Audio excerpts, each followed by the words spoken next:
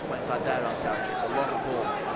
Clark towards the edge of the penalty area, nodded down to Reach with the outside. Oh, it's in the inside of the post. I think everybody thought that had gone in then. He struck it superbly. He found a yard or two of space. He struck it sweetly with the outside of his left boot. He was swinging in towards the far post of Jonathan Bond. It's, I don't know how it didn't go in. It's going to be Paul Gallagher, right-footed around the wall, but straight into the body of the goalkeeper, Jonathan Bond. Reading looking for a way through, edge of the area. Could be a long-range effort, this one, right-footed. Just strikes the back of Greg Cunningham before going out for a corner ball. Vydra it was who struck the effort.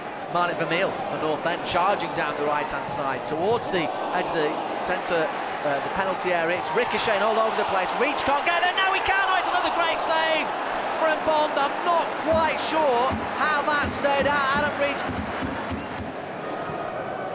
North End just trying to sort of spread them really. Now maybe they can with Joe Garner, far left-hand side, into the penalty area. Oh, then he goes down. It must be, it must be a penalty.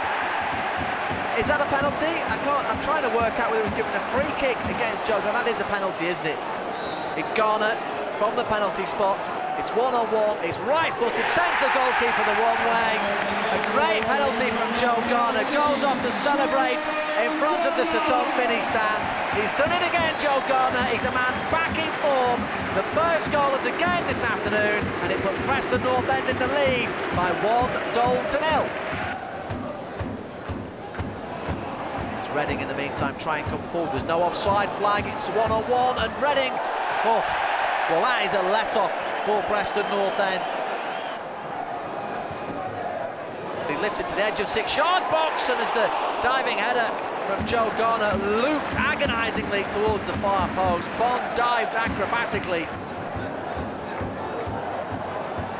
And a long-range effort, oh, just from the edge of the penalty area, it was smashed towards Jordan Pickford from Vydra.